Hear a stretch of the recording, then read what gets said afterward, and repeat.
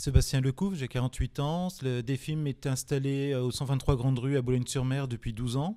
Nous intervenons dans tout ce qui est diagnostic immobilier qui sont nécessaires à la mise en vente ou location, donc tout ce qui est amiante, plomb, DPE, électricité, gaz, état des risques et pollution des sols.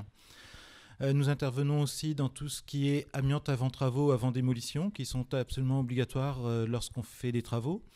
Nous sommes à quatre à travailler dans l'entreprise, dont trois techniciens. Nous travaillons sur l'ensemble de la côte d'Opale, c'est-à-dire de Berck jusque Calais et à l'intérieur des terres jusque Saint-Omer. Nous pouvons euh, intervenir aussi dans d'autres secteurs en France, étant donné que nous faisons partie d'une franchise et que nous sommes 40 agences en France actuellement. Alors l'année 2021 nous réserve une grosse, euh, évolution euh, au niveau du diagnostic de performance énergétique, le DPE. Une réforme est en cours et devrait être mise en œuvre euh, à peu près au mois de juillet. En moyenne, nous avons besoin d'une heure et demie sur place pour faire les relevés. Et en général, les rapports sont disponibles, on va dire pour le lendemain, voire 48 heures après au maximum par voie électronique. Alors les diagnostics ont des durées de validité différentes selon les, les diagnostics.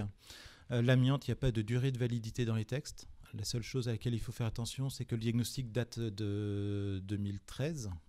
Avant, ce n'est plus valable. L'électricité et le gaz sont valables 3 ans. Le diagnostic de performance énergétique, 10 ans. Le plomb est valable un an. Pour, euh, pour, notre intervention, il suffit de nous appeler pour prendre rendez-vous. On se déplace. En général, on trouve un créneau dans la semaine. Euh, donc, euh, simple coup de fil suffit pour prendre rendez-vous. Il suffit de nous appeler au 03 62 27 51 30. Vous pouvez aussi prendre contact par mail. Le mail est boulogne.defim.pro. On trouvera un créneau dans la semaine pour, euh, pour passer. Selon degré d'urgence, ça peut être le lendemain ou le surlendemain.